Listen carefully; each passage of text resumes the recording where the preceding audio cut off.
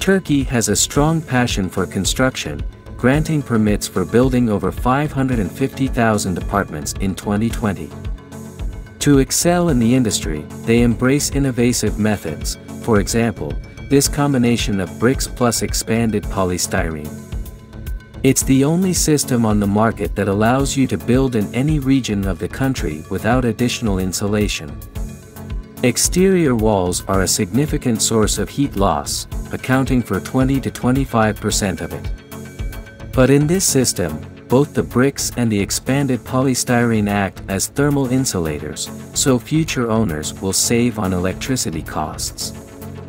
The manufacturer offers several options in terms of wall size and thickness and highlights their durability and additional sound insulation.